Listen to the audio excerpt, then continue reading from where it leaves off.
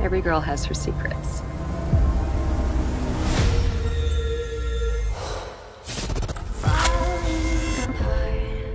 I don't want to sell my mom's house. Not with all these questions. Seeking for the truth.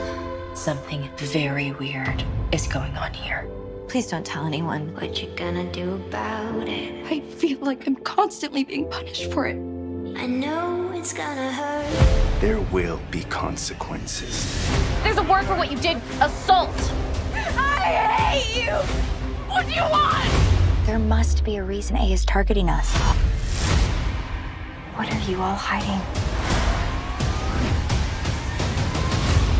Okay, this is getting beyond dangerous now.